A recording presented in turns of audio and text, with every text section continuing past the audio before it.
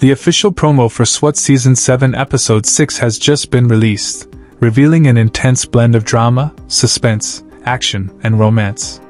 Titled Escape, this episode promises to keep viewers on the edge of their seats. The official synopsis for SWAT Season 7 Episode 6 has also been unveiled. After a transport van mishap, the team is tasked with hunting down three female fugitives, including a notorious serial killer. Meanwhile, Dion struggles to find a balance between his professional and personal life upon returning to work. Fans can mark their calendars for the release of SWAT Season 7 Episode 6, airing on Friday, March 15th at 8 p.m. on CBS. Get ready for an adrenaline pumping episode that will leave you craving more. Thanks for watching.